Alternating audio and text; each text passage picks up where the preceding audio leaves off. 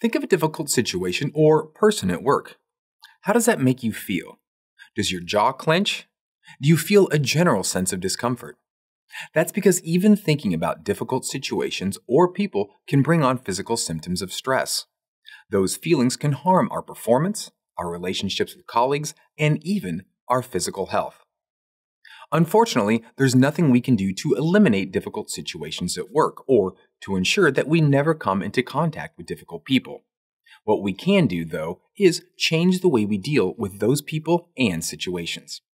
Sometimes effective communication is all it takes to resolve these situations and deal with the difficult people in our workplace. Sometimes, though, it takes more than that.